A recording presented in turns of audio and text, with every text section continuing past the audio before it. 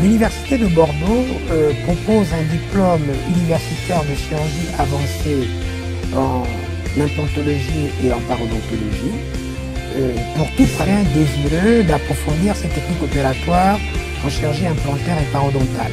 C'est une formation qui est organisée par la faculté de chirurgie dentaire de Bordeaux, une formation qui se veut efficace, c'est pour ça qu'elle propose dans son programme un plateau technique euh, richement équipé en nouvelles technologies qui euh, permettront aux praticiens de simuler toutes les nouvelles techniques innovantes opératoires sur modèle synthétique, sur modèle animal et sur pièces anatomiques.